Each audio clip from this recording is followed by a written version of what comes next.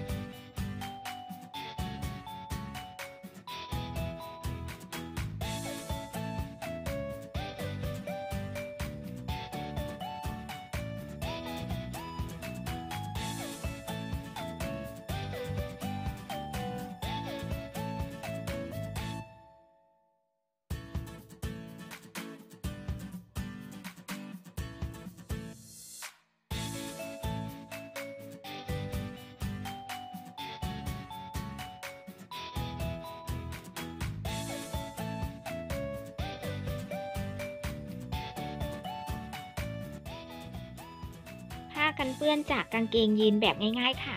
คลิปนี้ก็แค่นี้นะคะ สวัสดีค่ะ